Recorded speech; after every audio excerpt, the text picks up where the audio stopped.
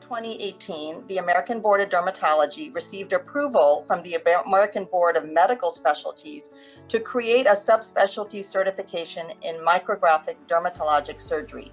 The course was really designed to be a comprehensive, high yield didactic review of dermatologic surgery fundamentals and key knowledge in the content areas outlined by the American Board of Dermatology study guide. It's meant to prepare for the MDS subspecialty certification examination.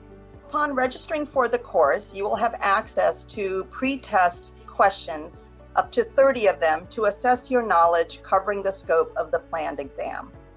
The topics that we have outlined in the ABD study guide, we have divided into 10 different learning modules.